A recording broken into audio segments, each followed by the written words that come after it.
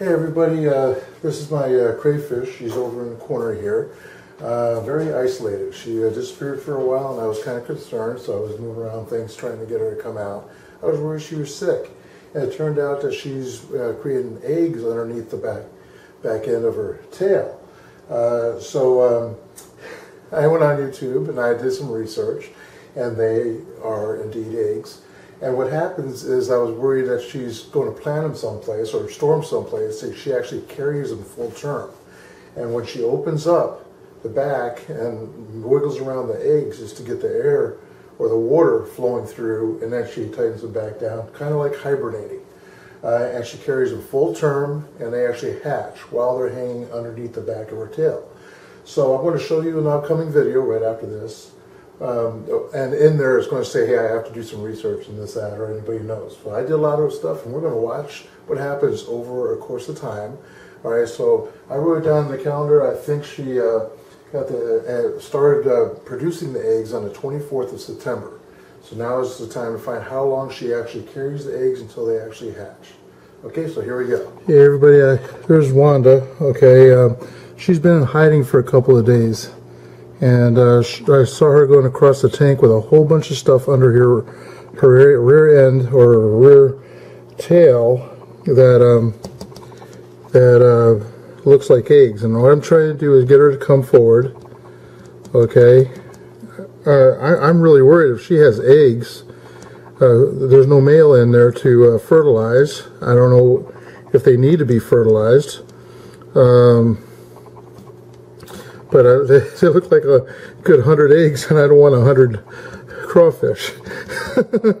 I might have to set up a whole tank for crawfish, or crayfish. I'm trying to get her to come forward so you can see the eggs.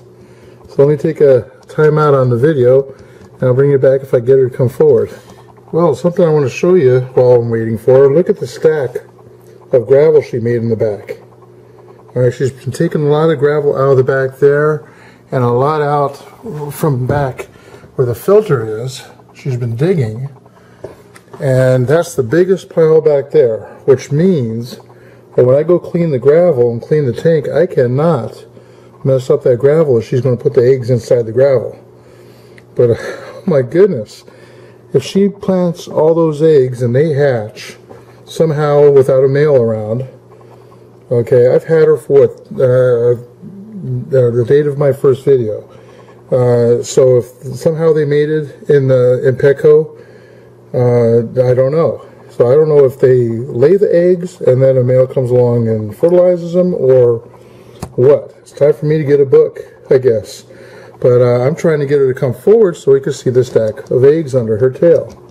So she's turning around and there they are. So under the back a bunch of eggs. Alright, if she's not going to come out, I'm going to go to her. Alright, let's get the yellow ball out of the way.